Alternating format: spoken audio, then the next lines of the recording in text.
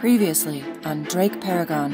I think we might have to move Paragon, guys. Do you want me to say something? It's very difficult for me to advise you, but- Yeah. but, I would go take Iceland. Don't go in between there.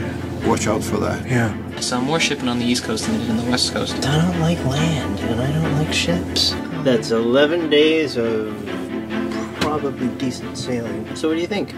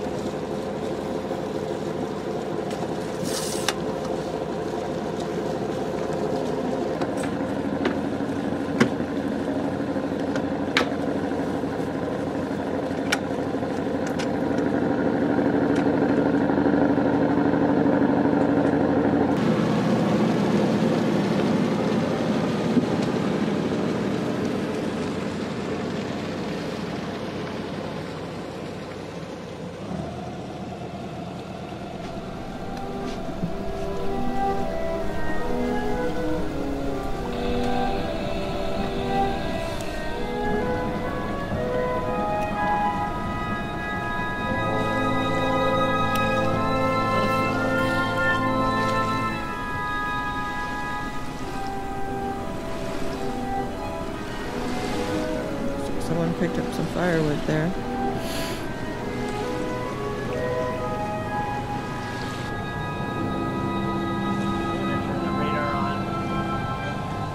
I'm turning the radar on, so don't put your head next to the dome. Since we're leaving a little late, try to tighten up this route as much as possible. Hopefully this fog clears.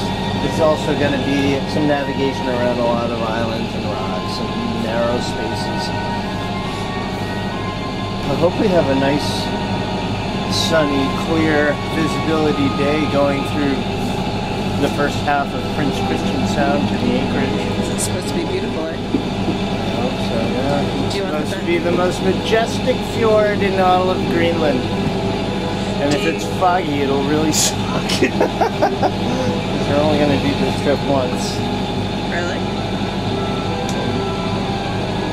this year.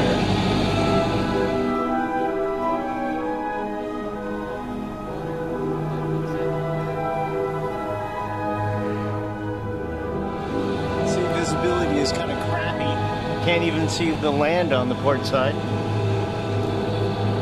See these rocks on our starboard, and there's a little piece of floating ice right there. We've got a lot of those guys. You know, he looks small maybe on video, but if we motored right on up to him, we'd probably find that he's the size of a car, and hitting him would be very bad.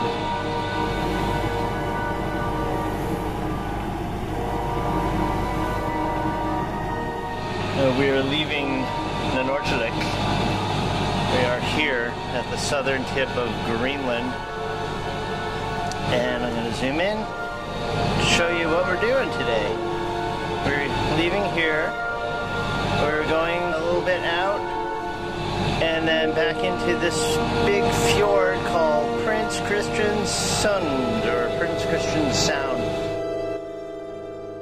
Extremely dangerous weather conditions are often experienced in the waters south of Greenland out to 120 nautical miles.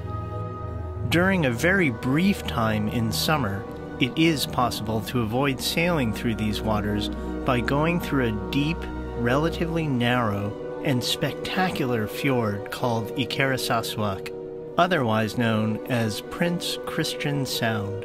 Ikerasassuaq is one of the world's most magnificent passages. Mountains rise between 3,000 and 5,500 feet on either side, and several glaciers along the fjord are always adding their icebergs and bergy bits to the pack ice which blocks it for much of the year. We'll hope to make it to here. There's an acreage right there where we plan to spend the night, and then it's a very short hop from there to the weather station the next day. And then the next day we push off from there for Iceland or for Ireland. We're still debating that one. Got a radar contact here, and he's quite a large one.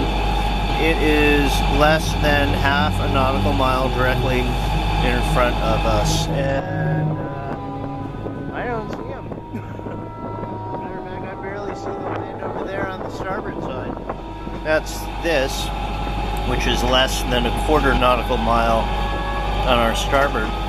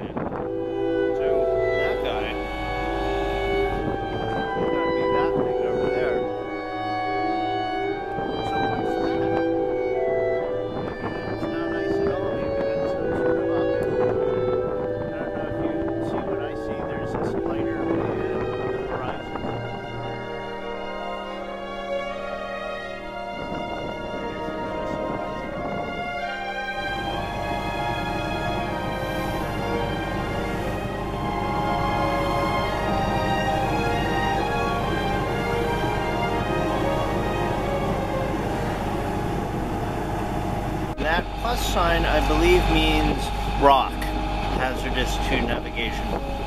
So we're giving that a wide berth to our port side.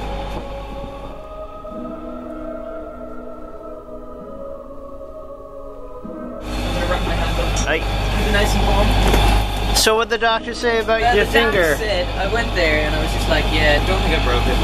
I just thought I might have maybe possibly had a very tiny little dislocation. I just went up to the hospital to ask whether I should rest it with the splint or without a splint, or Yeah. should I not do anything with it. And he was just like, does this hurt? No. Does this hurt? No. Does this hurt? No.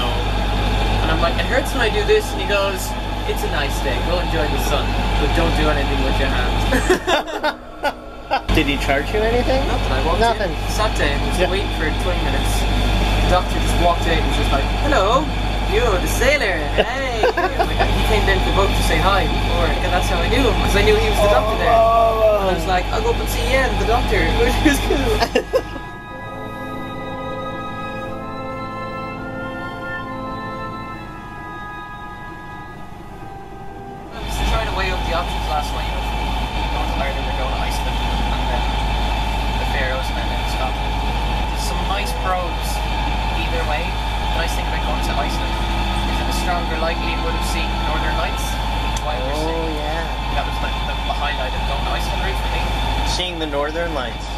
Wow. Um, and then we head into the Faroes. And um, that's another place to see. The only thing I didn't like about the Faroes was the tides. And that's near I've heard about the tides. Like, Yeah, that boat captain guy that came over last night kept on saying over and over and over, well, current, current, current. the current is dictating where you go. And if you get wind against it, it's just going to be like a nightmare. If you go the Icelandic route, it seems like there's a little bit of pressure on to keep moving. Whereas if we go to Ireland, it's, a longer offshore sail. Likelihood of hitting bad weather. I'm just thinking, would it be more worthwhile if we went a little bit north, we could sail. Once we got there, we could rest up for a little bit, and then we could go into some of the harbours along the way. So what are those places on the west coast that we might voyage to? The guys had mentioned Galway, which is Galway. like it's the biggest city on the west coast.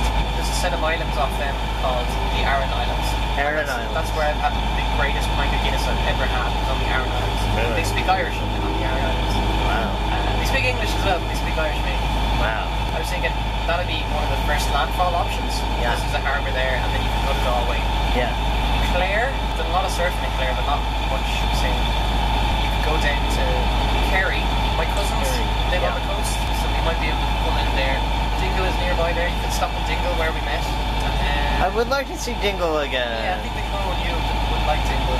Good time to go because the end of September, it's not crazy busy like August, but it's still nice enough weather. The one place that I think you guys would really like, which is only 40 miles away from Kinsale, Yeah. it's a place called Baltimore, and that's where I trained to sail. That's where I learned to sail.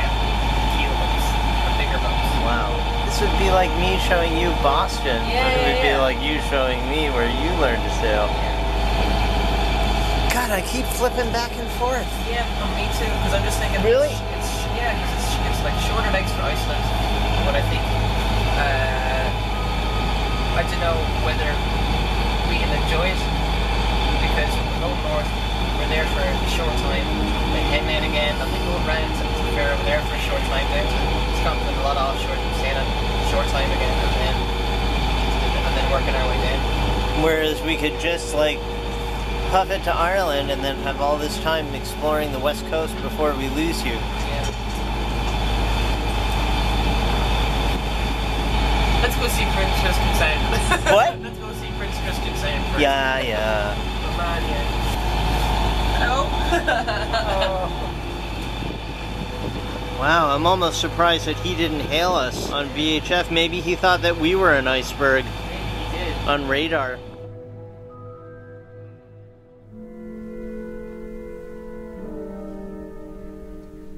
And did you see this? It's up here now. Yeah, we're about to enter the sound.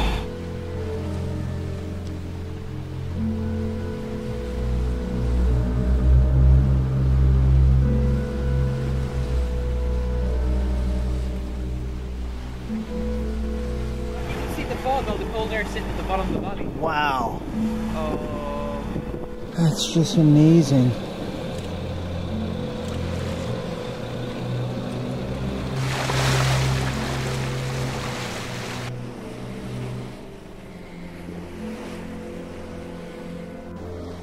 Prince Christian Sound.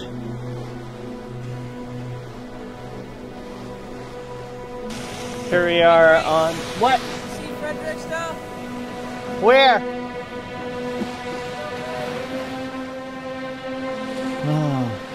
Town of Frederiksdal. It's reportedly an anchorage somewhere over there. But we're not going there, we're going straight in to Prince Christian Sund. Looks like we're gonna have to go around that big iceberg. It's like blocking the entrance. Hmm.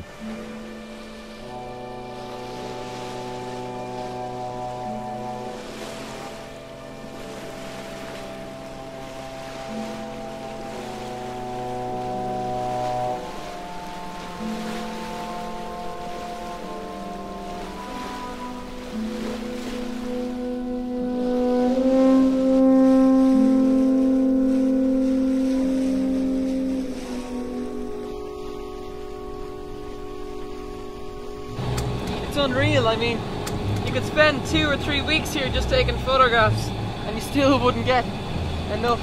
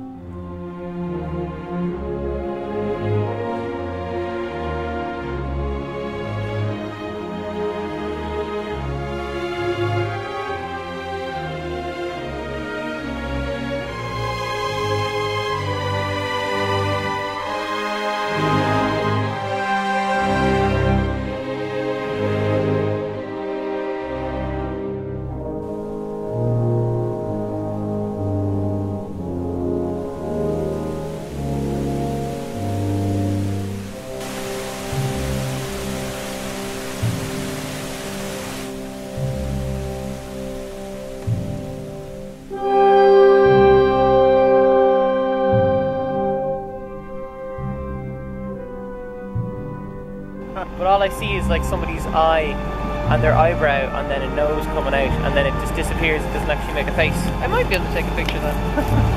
but, You uh, got to take a photo at that exact instant that you see it. Yeah, it's really difficult. I try not to go as crazy with photographs as I did when I was at the Anchorage because otherwise I'll run out of space. Just unbelievable. Now I understand, I think, why people would want to climb a rock like this. Amazing. I really don't have the words to try to convey how amazing this looks. I'm just in awe. Not the kind of thing you get to see every day. And Prince Christian Sound is only navigable for a very short time out of the year. And the rest of the time it's iced in so that ships can't go through. Just a couple of months and here we are. God, I wonder what this place is like during the wintertime.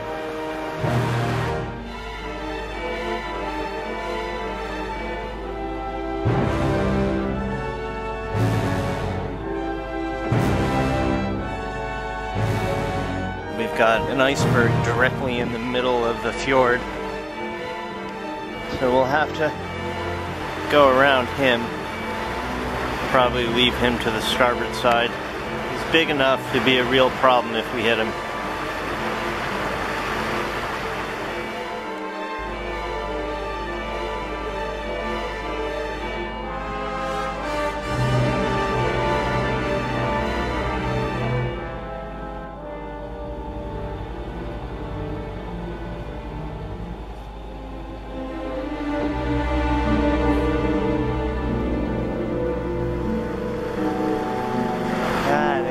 Look up and you see these mountains and go,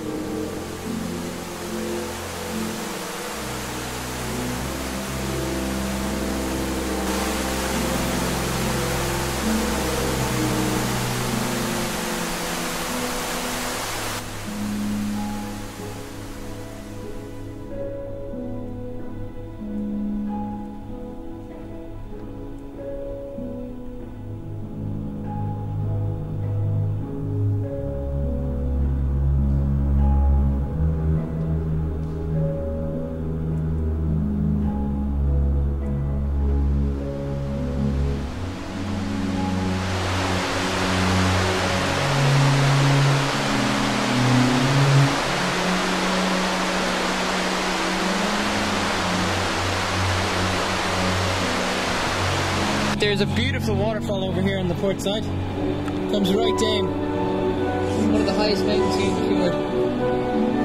Isn't it amazing?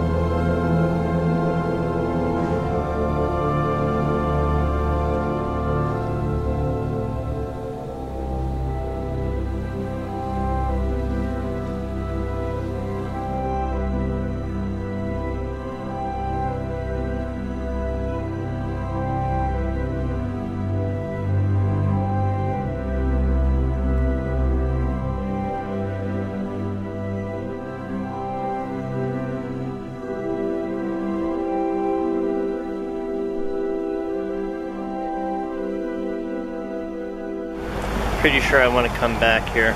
I know it. I was always thinking that this would be sort of like the first check out Greenland voyage, not knowing what we'd find. But now that we've got a good idea, I really want to come back.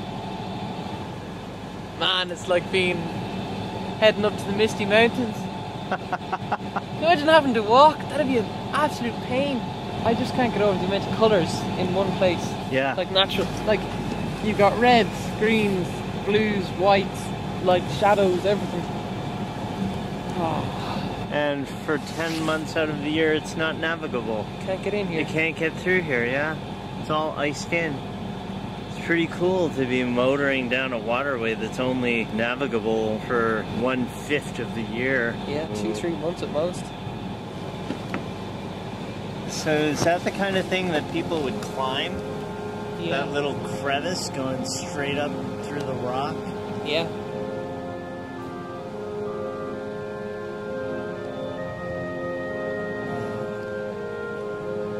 They said it's amazing in Prince Christian Sund for climbing. It's just so inaccessible that not a lot of people do. Yeah. Or even mountaineering, just to make it to the top, you'd have to really push yourself. Can't imagine climbing something like that. With this guy, that'd be hard, but if you walk the long way, there's a nice slopey bit up and right. Oh yeah, you could walk all the Then you could be like, you could just look down at it with all your climbing gear and be like, as if you climbed it. That'd be so cool.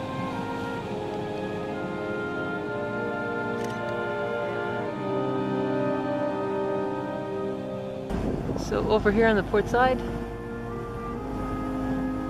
we're passing by a glacier. Never thought I'd get to see one this close. So it's actually an anchorage at the base of the glacier here. We dropped the anchor and go for a hike up by the glacier.